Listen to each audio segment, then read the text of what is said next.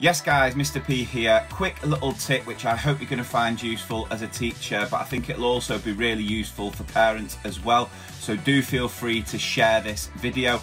Now if your children are doing work on paper or working through a worksheet and you're wondering how I can upload and send it back to Seesaw, Google Classroom, Teams, whatever it might be, but you don't have a scanner, don't worry because if you've got an iPhone or an iPad, you've got a built-in scanner on the Notes app. Let me show you how to do it.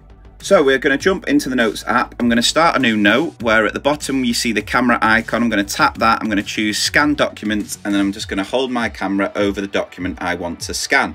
Now in the top right hand corner where you see auto, it will automatically pick up on what we've done. Or I can choose manual where when I scan and press the camera, it will then allow me to adjust the corners like so.